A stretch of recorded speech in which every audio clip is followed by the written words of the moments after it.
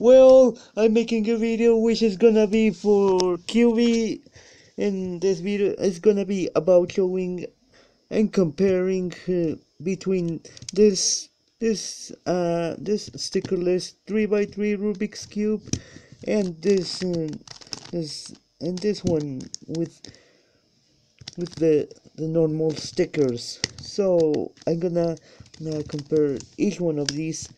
Well this one one well let's begin with the the size um so this one's kinda smaller than than this one though. But I and I like both of these though. So this is a, a normal oh you know the shapes. Well this one's kinda more flat Mean flatter than than this one, but and this one's uh, sort of uh, like a normal three by three, three by three uh, Rubik's cube one, a normal three by three one, and this one's oh my god, I think the this is a, a weird oh yeah a weird three by three Rubik's cube one, and also I mean, I mean, and also Cuby. Uh, I I think I I saw, I saw all your I know some of your videos and and and they they are all amazing and awesome. Yeah, and I like and I can enjoy them. Enjoy your videos a lot. Yeah. Woo! And um, let's see which one, which one pops.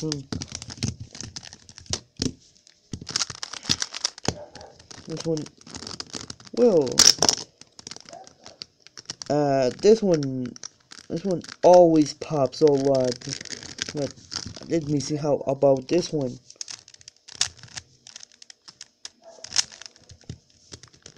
Uh, this one but not this one. This one doesn't doesn't pop as much as this one does. Uh but it's still still like both both of these anyways though. And hey Cuby uh, uh do you like these uh, these Rubik's cubes? These these style these three uh, I mean these two 3x3 Rubik's Cube styles can you tell me in in the comments though and you are a, a, a Rubik's Cube and a puzzle co collector though and and I like all your videos especially your all your unboxing videos though I still like them a lot though. and well Cuby this this 3x3 Rubik's Cube here is my second my second 3x3 one and this one's my my fourth 3x3 one. So so I know that uh, that uh, that uh, that now I did I did compare these which one pops in well the one that pops in more is this one. Because the because the the ends are, are so loose. I mean they, they, they are they are all loose. Oh my gosh. But now but but this one doesn't doesn't pop at all as much as, as that one does. Let me compare now the the cutting a corner the corner cutting which one works perfectly on that?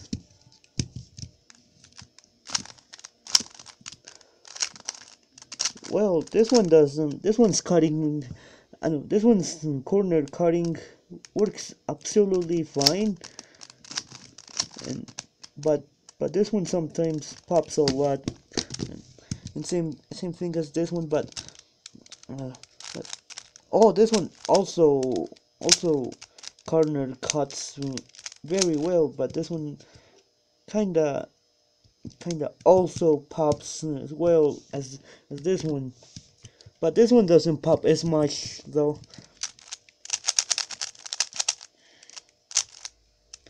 And now now with the the the inverted uh, corner cutting. So uh let's begin with this one.